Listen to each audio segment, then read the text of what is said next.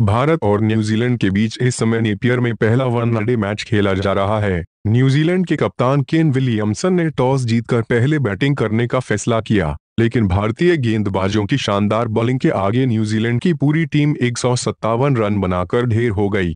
Williamson ने जड़ा अर्धशतक न्यूजीलैंड के कप्तान विलियमसन ने बेहतरीन अर्धशतक जड़ा, लेकिन बाकी बल्लेबाज उनका साथ नहीं दे सके। विलियमसन ने शानदार चौसठ रन बनाए भारतीय स्पिनर्स ने किया कमाल। भारत की ओर से कुलदीप यादव, युजवेंद्र चहल और केदार जादव ने शानदार गेंदबाजी की। कुलदीप ने चार, चहल ने दो और जादव ने एक विकेट लिया। इसके अलावा मोहम्मद शमी ने भी तीन विकेट लिए।